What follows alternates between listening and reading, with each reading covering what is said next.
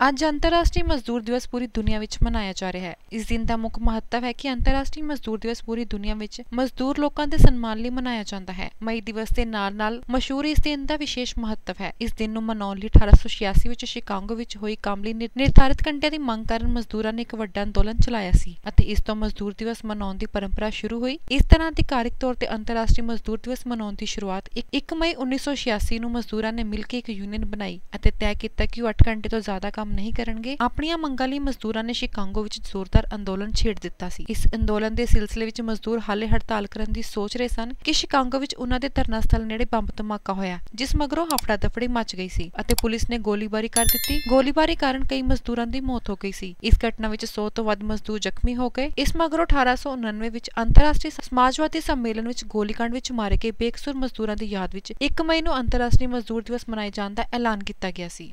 ਅਜੀਤ ਪੰਜਾਬੀ ਦੀ ਆਥੈਂਟਿਕ ਖਬਰਾਂ ਦੇ ਲਈ ਸਬਸਕ੍ਰਾਈਬ ਕਰੋ ਅਜੀਤ ਵੈਬ ਟੀਵੀ ਅਤੇ ਤਾਜ਼ੀ ਖਬਰਾਂ ਦੀ ਨੋਟੀਫਿਕੇਸ਼ਨ ਪਾਉਣ ਦੇ ਲਈ ਬੈਲ ਆਈਕਨ ਤੇ ਕਲਿੱਕ ਹਾਂਜੀ ਕੀ ਨਾਮ ਹੈ? ਅੱਜ ਮਜ਼ਦੂਰ ਦਿਵਸ ਹੈ ਤੇ ਕੀ ਇਹਦਾ ਇਤਿਹਾਸ ਹੈ? ਕੀ ਕਹਿਣਾ ਚਾਹੋਗੇ? ਅੱਜ ਮਜ਼ਦੂਰ ਦਿਵਸ ਆ ਜਿਹੜਾ 1 ਮਈ 1 ਮਈ 1886 ਨੂੰ ਸ਼ਿਕਾਗੋ ਸ਼ਹਿਰ ਦੇ ਵਿੱਚ ਅਮਰੀਕਾ ਦੀ ਰਾਜਧਾਨੀ ਦੇ ਵਿੱਚ ਦੁਨੀਆ ਭਰ ਦੇ ਮਜ਼ਦੂਰ ਇਕੱਤਰ ਹੋਏ ਸੀ। ਜਿਹੜੇ ਨਿਹੱਥੇ ਬੈਠੇ ਮਜ਼ਦੂਰਾਂ ਤੇ ਉੱਥੋਂ ਦੀ ਸਰਕਾਰ ਨੇ ਗੋਲੀਆਂ ਚਲਾਤੀਆਂ ਸੀ। ਉਹਦੇ ਵਿੱਚ ਸਾਡੇ 8 ਬੱਚੇ ਛੋਟੇ ਛੋਟੇ ਮਾਰੇ ਗਏ ਸੀ, ਜਿਹੜੇ ਮਾਵਾਂ ਦੀਆਂ ਗੋਦੀਆਂ ਚੱਕੇ ਸੀ। ਉਹਨਾਂ ਨੇ ਉਹਨਾਂ ਨੂੰ ਬੱਚਿਆਂ ਨੂੰ ਚੱਕ ਕੇ ਆਪਣੇ ਝੰਡਿਆਂ ਦੇ ਵਿੱਚ ਲਪੇਟ ਲਿਆ ਤੇ ਝੰਡੇ ਸਫੈਦ ਤੋਂ ਲਾਲ ਹੋ ਗਏ ਉਹਨਾਂ ਦੇ ਖੂਨ ਨਾਲ। ਉਦੋਂ ਤੋਂ ਸਾਡੇ ਮਜ਼ਦੂਰਾਂ ਦਾ ਝੰਡੇ ਦਾ ਰੰਗ ਲਾਲ ਹੋਇਆ। ਉਹ ਮਜ਼ਦੂਰ ਪੁਰ ਅਮਨ ਬੈਠੇ ਸੀ। ਉਹ ਮੰਗ ਕਰ ਰਹੇ ਸੀ ਕਿ ਸਾਡੀ ਡਿਊਟੀ 16 ਘੰਟੇ ਤੋਂ ਘਟਾ ਕੇ 8 ਘੰਟੇ ਕਰ ਦਿੱਤੀ ਜਾਵੇ। ਉਹ ਮਜ਼ਦੂਰ ਮਰਨ ਤੋਂ ਬਾਅਦ ਡਿਊਟੀ ਸਾਡੀ 8 ਘੰਟੇ ਹੋਈ।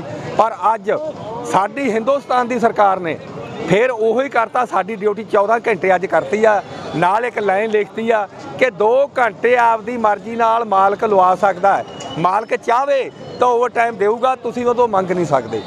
ਸਾਡੇ ਲਈ ਨਾਲ ਇੱਕ ਕਾਲਾ ਕਾਨੂੰਨ ਬਣਾਤਾ, ਕੰਮ ਕਰਨ ਦੇ ਦੌਰਾਨ ਕਿਸੇ ਮਜ਼ਦੂਰ ਦੀ ਮੌਤ ਹੋ ਜਾਂਦੀ ਆ, ਉਹਦੇ ਸੱਟ ਫੇਟ ਵੱਜਦੀ ਆ, ਉਹਦਾ ਕੋਈ ਲੱਤ ਬਾਂਹ ਟੁੱਟਦੀ ਆ, ਕੋਈ ਐਕਸਗ੍ਰੇਸ਼ੀਆ ਕੋਈ ਉਹਨੂੰ ਕੁਝ ਨਹੀਂ ਮਿਲਣਾ। ਉਹ ਉਹ ਨਹੀਂ ਲੈ ਸਕਦੇ, ਮਾਲਕ ਤੋਂ ਨਹੀਂ ਮੰਗ ਸਕਦੇ, ਠੇਕੇਦਾਰ ਤੋਂ ਨਹੀਂ ਮੰਗ ਸਕਦੇ।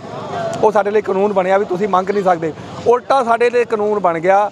ਤੁਹਾਡੇ ਕੰਮ ਕਰਨ ਦੌਰਾਨ ਜਿਸ ਮਾਲਕ ਦੇ ਘਰੇ ਕੰਮ ਕਰਦੇ ਆ, ਉਹਦਾ ਕੋਈ ਨੁਕਸਾਨ ਹੋਇਆ, ਬੰਦੇ ਦੀ ਭਾਵੇਂ ਮੌਤ ਹੋ ਗਈ, ਉਹ ਨੁਕਸਾਨ ਭਰਨ ਯੋਗ ਮਜ਼ਦੂਰ ਆ।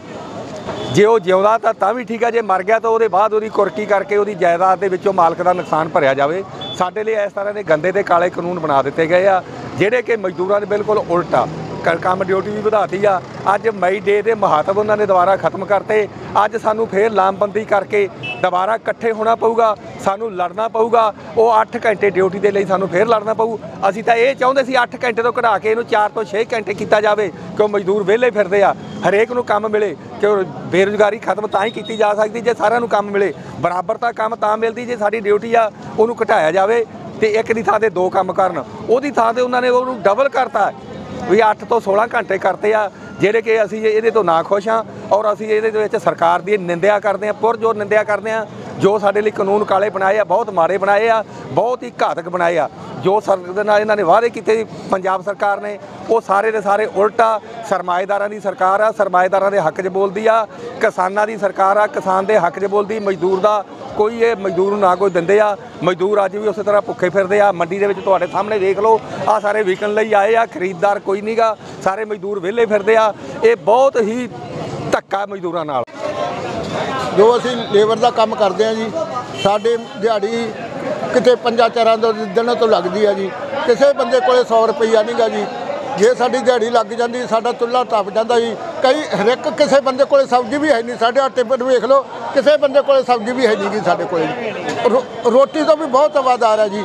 ਸਾਡੇ ਬਾਰੇ, ਜਿੱਥੇ ਕਿਸਾਨਾਂ ਬਾਰੇ ਸਰਕਾਰ ਸੋਚਦੀ ਹੈ ਉੱਥੇ ਮਜ਼ਦੂਰਾਂ ਬਾਰੇ ਵੀ ਸੋਚੇ। ਸਾਡੀ ਵੋਟ ਦਾ ਬਰਾਬਰ ਹੱਕ ਦਰਜਾ ਵੋਟ ਦਾ ਹਰ ਇੱਕ ਬੰਦੇ ਦੀ ਵੋਟ ਪਾਣੀ ਆ। ਅਸੀਂ ਆਮ ਪਾਰਟੀ ਨੂੰ ਵੋਟਾਂ ਪਾ ਕੇ ਉਹਨਾਂ ਨੂੰ ਕਾਮਯਾਬ ਕੀਤਾ ਸੀਗਾ। ਮਜ਼ਦੂਰ ਹੈ ਖੁਸ਼ੀ ਕਿੰਨੀ ਕੁ ਹੈ? ਹਾਂਜੀ। ਮਜ਼ਦੂਰ ਦਿਵਸ ਹੈ ਖੁਸ਼ੀ ਕਿੰਨੀ ਕੁ ਹੈ? ਖੁਸ਼ੀ ਜੀ ਖੁਸ਼ੀ ਸਾਨੂੰ ਕਾਹਦੀ ਖੁਸ਼ੀ? ਤਾਂ ਹੀ ਹੋਵੇ ਨਾ ਜੀ।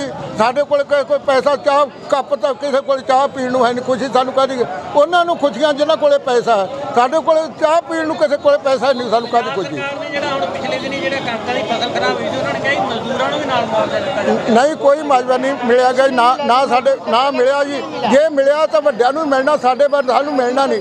ਇਹ ਆਪਦੀ ਕੋਈ ਇਹ ਇਹ ਸਾਡੀ ਕੋਈ ਇਹ ਆਪਦੀ ਬ- ਆਪਦੀ ਮੀਟਿੰਗ ਚ ਬਣਾਉਣ ਆਪਦੀ ਕੋਈ ਪ- ਕੋਈ ਮੀਟਿੰਗ ਬਣਾ ਕੇ ਕੋਈ ਛੱਡਣ ਤੇ ਸਾਨੂੰ ਪੁੱਛਣ ਵੀ ਆ ਕੇ ਵੀ ਤੁਹਾਨੂੰ ਮਿਲਿਆ ਕਿ ਨਹੀਂ ਮਿਲਿਆ।